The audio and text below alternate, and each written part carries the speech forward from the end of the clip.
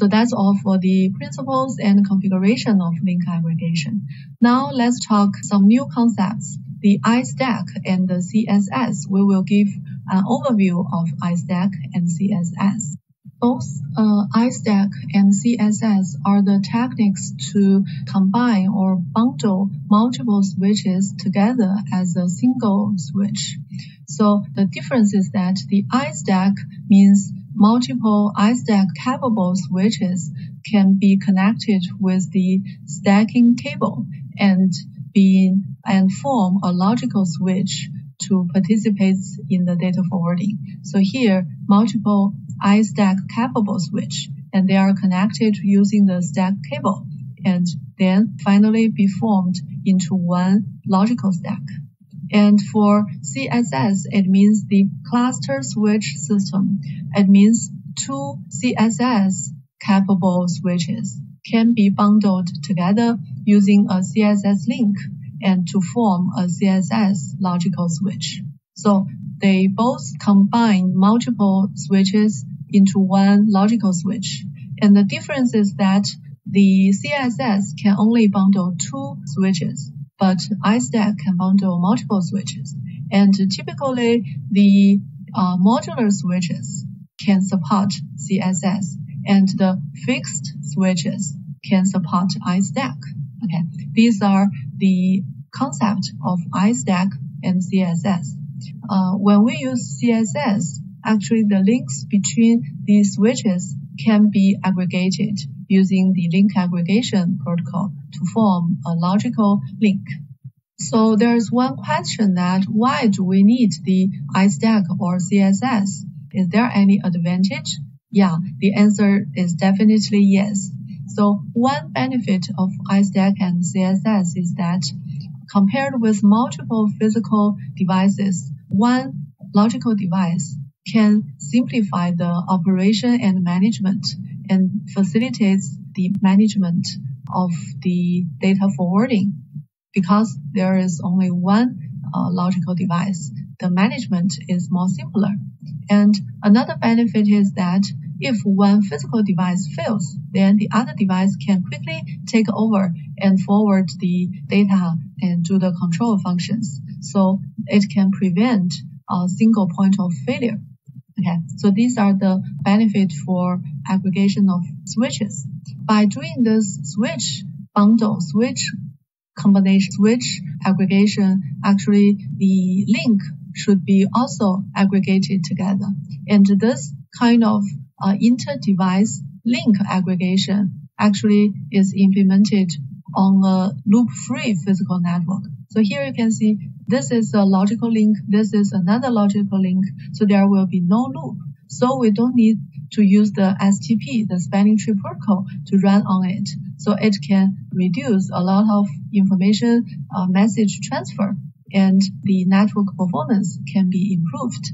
And also by using this link aggregation, all the links in the ether trunk can be used. So the uh, bandwidth can be improved and the link usage is 100% instead of a reduced number in the STP.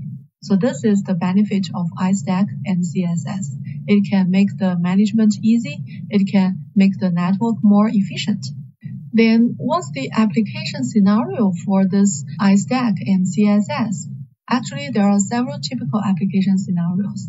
So first one is that if a single device cannot provide so many interfaces for the computers, for example, if there are uh, 100 PCs, but there are only 50 number of ports in one access switch, then we need to use multiple access switch to provide enough interface. So in this scenario, we will use multiple switch and we will connect them using the iStack link and to form them as a iStack logical switch.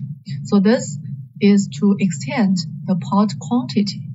And at some other scenarios, actually we need to extend the bandwidth. For example, between the link layer and aggregation layer, if we only use one link, maybe the upstream data rate cannot be large enough for the uplink traffic. So we need to add more links to provide more bandwidth. Okay. To provide this bandwidth, actually we need to aggregate the links together using the ether trunk. Okay. And another benefit, another application scenario is that if one link cannot provide the reliability, one link may have the single point failure. So we can provide multiple links to enhance the redundancy to improve the reliability. So this is another application scenario. And also the another typical application scenario is that by using the aggregation of the switches, for example, if we combine these two switches together to be a CSS, then they need to use the MSTP multiple spanning tree protocol and VRRP, the virtual router redundancy protocol to prevent the loop problem. But now, if we aggregate them together and aggregate the links together, we call it the inter-device link aggregation. Actually, this kind of link aggregation can speed up the network convergence. It will converge quickly and also improve the network reliability right? So these are two typical applications for CSS and for Ether trunk. So if we look at the recommended architecture of a whole system, actually the architecture will be look like this. Between the access switch and the PCs, there will be several independent physical link. And then for access switch, they should be aggregated into one stack and others be aggregated into another stack. Which ones are aggregated together? Usually we will aggregate the switches allocated at the same location or at neighboring location to connect them together. And the logical network architecture actually is more simple and the STP and VRRP will not be required and also this network offers higher reliability, higher uplink bandwidth, and fast convergence. And between the iStack and the iStack access switch and the iStack aggregation switch, we should also use this Ether trunk. So this can be used to connect to the aggregation layer. Okay, and then at the aggregation layer, actually the aggregation switch should set up iStack and use the Ether trunk to connect to the upper uplink and downlink devices, right? So here we use the aggregation, the Ether trunk, and here we also use the Ether trunk. To use the Ether trunk, we can provide more uh, reliable loop-free networks. And then comes to the core layer. Okay, so at the core layer, actually the core routers can be aggregated together using the CSS. So the core switches set up a CSS, and they also use the Ether trunk to connect the uplink and downlink devices to build highly reliable and loop-free network. Right. So you can see that actually the lower one, the access switch and the aggregation switch will use the iStack and the core switch will use CSS. And between each layer, the Ether trunk will be used. So you can think of it as a single link, single link, single link, single link. So there will be no loop. So there is no STP or VRRP should be used. So the efficiency of the network has been improved and the bandwidth of every link can be explored. Right? Meanwhile, the reliability is also maintained. Okay, so this is the summary of the whole lecture. So first, we talk about the link aggregation. And link aggregation can be divided into two modes. One is the manual mode or static mode. The other is the LACP mode. And if we use the LACP, actually they can use some small packet or small message to negotiate on the active links.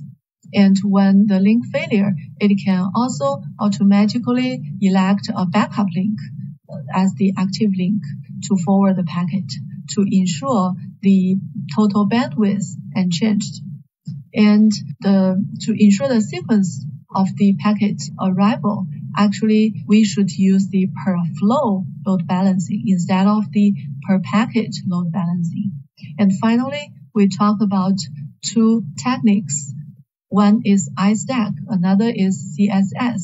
These two stacks are all techniques to combine multiple switches into one logical switch. So these techniques can simplify the network management, network structure, and also improve the network reliability. Okay, that's all for today's lecture. Thank you.